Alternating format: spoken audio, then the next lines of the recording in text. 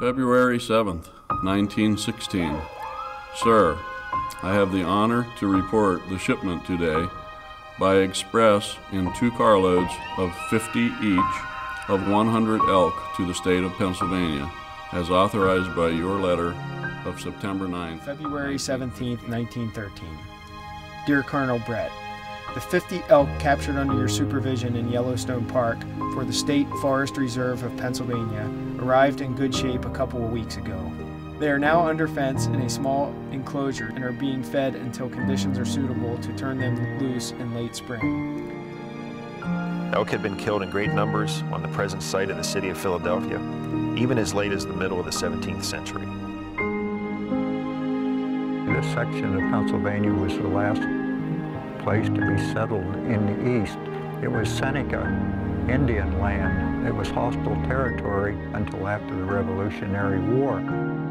By 1750, the elk were already showing the efforts of persecution. Like so many other big game animals, they were slaughtered by the thousands without thought of the future. Many were slain merely for the hide and the souvenir tooth. And the first white settlers didn't come into the area until the early 1800s, and then only a very few at a time. It was a hard country to get to. It was isolated, and the country was especially hard on women and children. By Civil War era, uh, people were living on Winslow Hill, uh, breaking up the original forest, doing some farming on it. Uh, at the same time, elk, of course, were, were just about extirpated from Pennsylvania in the 1860s. As the 1800s unfolded, the increasing human population and demand for meat began to take its toll on other wildlife. Elk were exterminated in southeastern Pennsylvania and rare west of the Allegheny River by the beginning of the 19th century. By the late 1840s, they had disappeared from the southwestern part of the state and from the Pocono Plateau. By the 1850s, what remained of Pennsylvania's once mighty elk population was limited to sections of the north central, predominantly Cameron, Elk, and McKean counties. In 1867, the last Pennsylvania elk was shot. Gradually, the country filled up.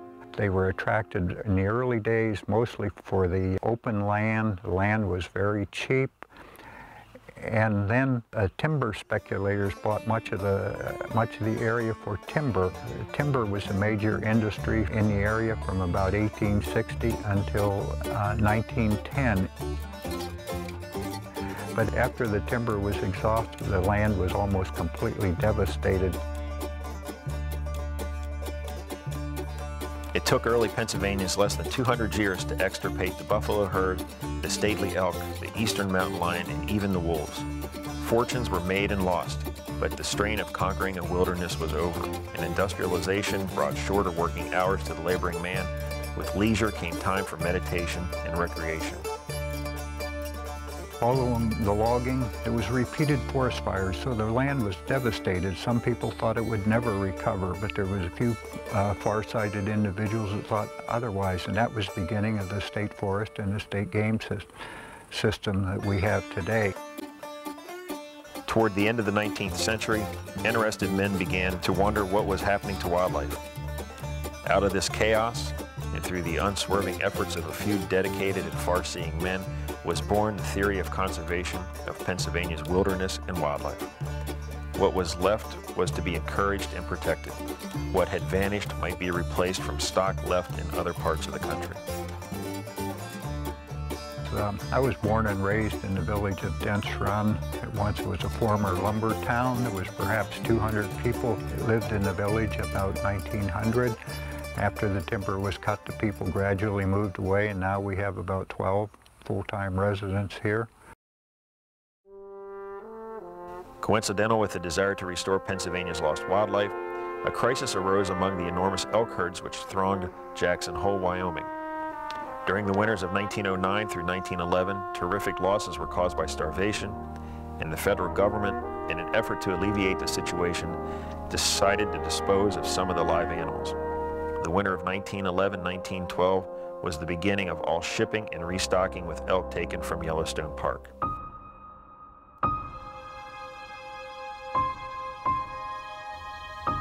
As there have not been elk in Pennsylvania since the beginning of game protection, there is now no law protecting them, and we have before the legislature an act April 16, 1913.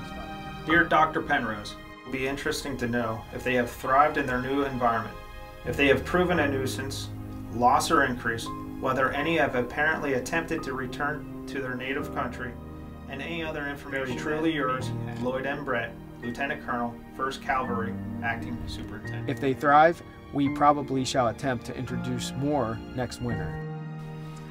September 9th, 1915. Sir, I enclose herewith copy of a letter granting authority to the Board of Game Commissioners of Pennsylvania to secure 100 elk from the Yellowstone National Park. Respectfully, Bo Sweeney, Assistant Secretary. September 13th, 1915. My dear Colonel Brett, the Game Commission of Pennsylvania has received permission from the Department of the Interior to capture 100 elk in Yellowstone National Park. I have written to Mr. Howard Eaton of Wolf, Wyoming, who attended to the capture and transportation of elk for Pennsylvania three years ago, asking him to look after the matter at this time. Sincerely yours, Charles B. Penrose.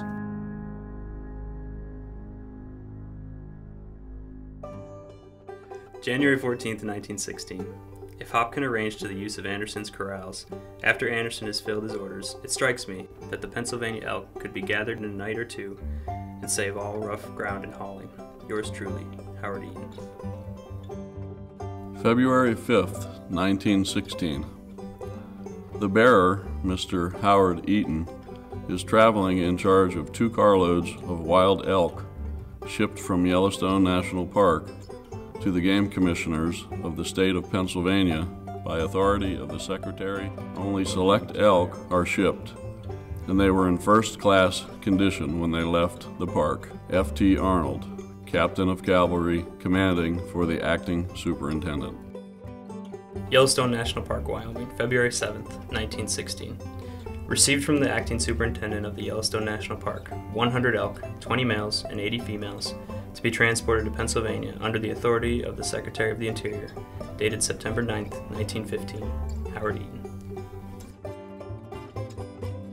Pennsylvania made its first releases in 1913 when 50 elk from Yellowstone and 22 from a private preserve in Monroe County were shipped to the north central part of the state. The elk were divided equally between Clearfield County and Clinton County. 12 of the Monroe County animals were released in Monroe County itself, and 10 were sent to Centre County.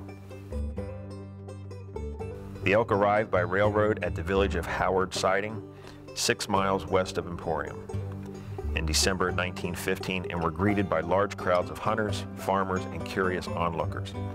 The elk were unloaded into crates and hauled up over the mountain pulled by teams of horses and released on the west branch of Hicks Run.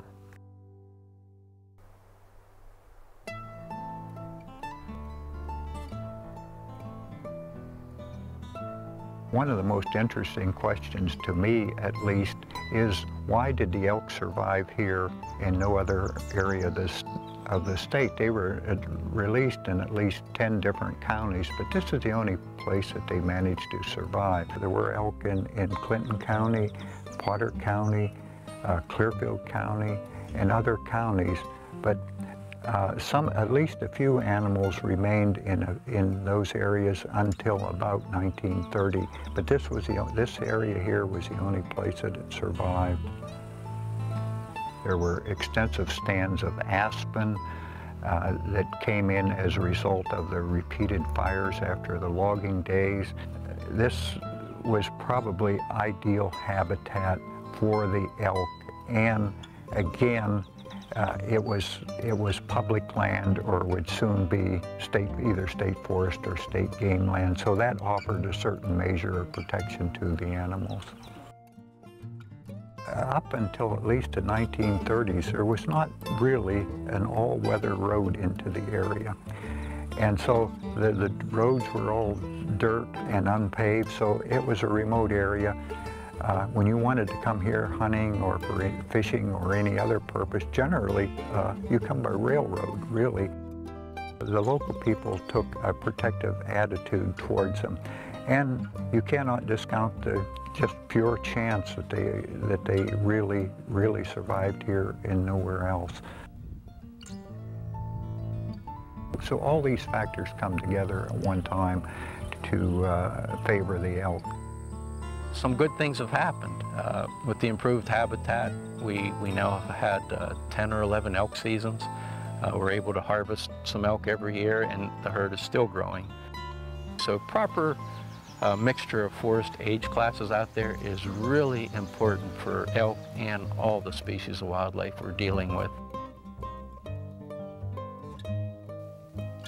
There's no set goal for a certain number. If we end up with over a thousand elk in this part of Pennsylvania and the conflicts remain low and we can have a hunting season, then that's the number we'll go with. Interesting, there were very few elk on Winslow Hill in, in the early days. They were mostly confined back into the more remote areas of state forest and state game lands. It's pure speculation, but I believe there were probably no more than two dozen elk alive in Pennsylvania during a short period in the 1930s. That seems hard to believe today. Now we have more than 900 elk scattered out over seven or 800 square miles.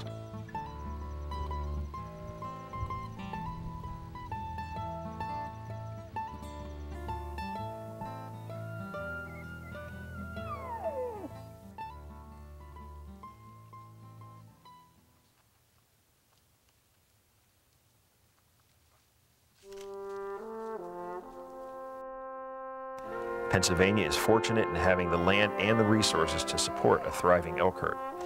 This is due largely to vision and foresight of a few dedicated individuals who for more than 100 years saw the need to protect and preserve what was left of our open land and wildlands. For those who enjoy the outdoors and wild things, we owe these early pioneers in the conservation movement a debt that can never be repaid.